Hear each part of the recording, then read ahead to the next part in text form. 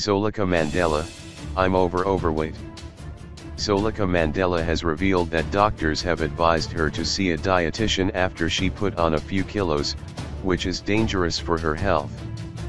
The author who is a cancer survivor said currently weighing 89,2 kgs is the heaviest she's ever been. I'm back from my doctor's appointment and received the saddest news ever, I have to see a dietitian now that I weigh 89,2 kgs. I'm overweight and need to lose a few kilos for the benefit of my health.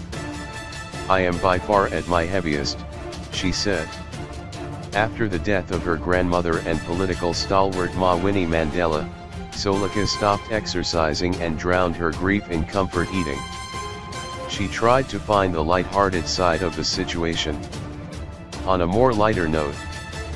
But guys, seriously, I can't drink alcohol, I can't do drugs, I can't smoke or take diet pills because I'm an addict and now I can't even eat what I want.